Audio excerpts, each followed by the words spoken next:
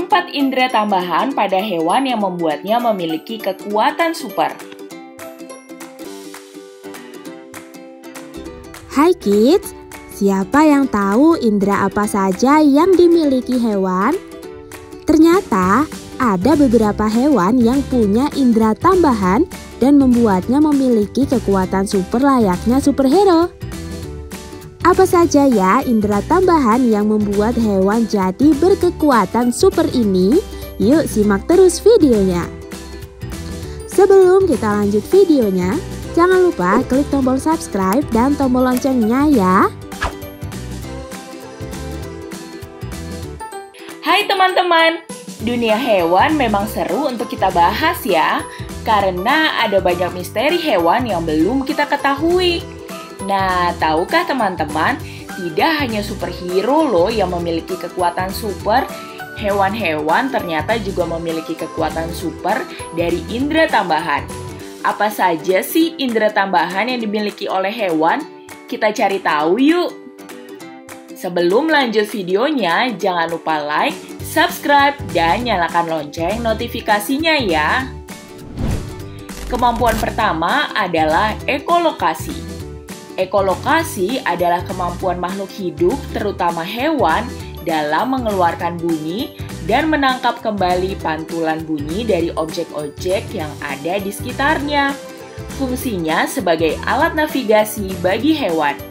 Hewan-hewan yang memiliki kemampuan ini adalah kelelawar, lumba-lumba, dan paus.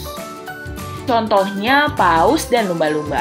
Menurut ahli biologi paus di National Museum of National History, Piensen dan rekannya Maya Yamato, paus dan lumba-lumba memiliki kemampuan mendengar dengan baik di dalam air.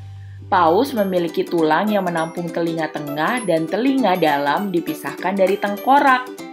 Karena anatomi inilah, paus bisa mendeteksi dari mana suara berasal meskipun di dalam air, lebih baik dari pendengaran manusia.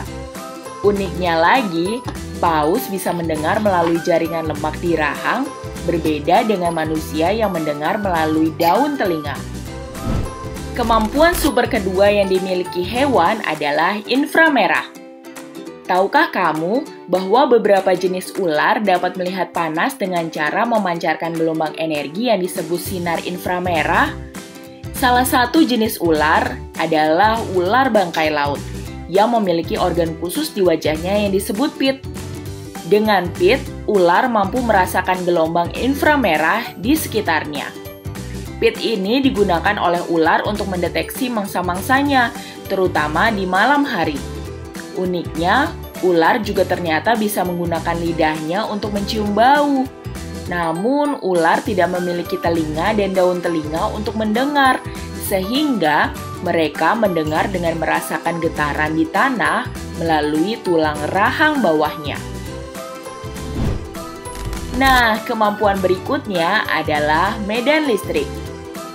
Ternyata, selain bermanfaat bagi manusia, listrik juga sangat berguna bagi hewan loh. Tahukah teman-teman, hiu dapat memanfaatkan listrik atau merasakan listrik ketika ada mangsa dalam jarak dekat. Jika mangsa mendekat, kira-kira satu meter dari tubuhnya, maka hiu akan merasakan kejutan atau dengungan listrik. Kemampuan ini membantu mereka menemukan mangsa dengan baik pada saat berburu.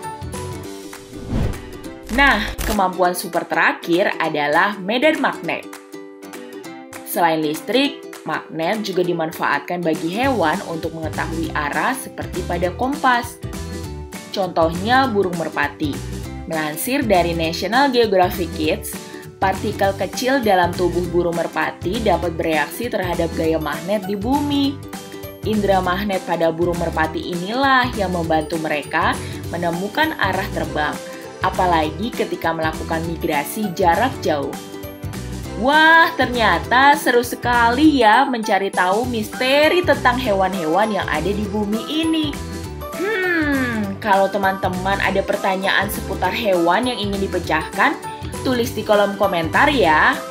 Kita akan pecahkan misteri itu bersama-sama. Sampai jumpa di misteri hewan berikutnya.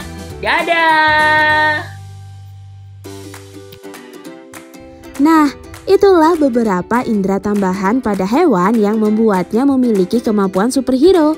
Keren-keren kan kids? Jangan lupa untuk menyayangi hewan di sekitar kita ya. Sampai di sini dulu ya videonya. Jangan lupa like, komen, subscribe, dan share ke teman-teman lainnya ya kids. Bye-bye!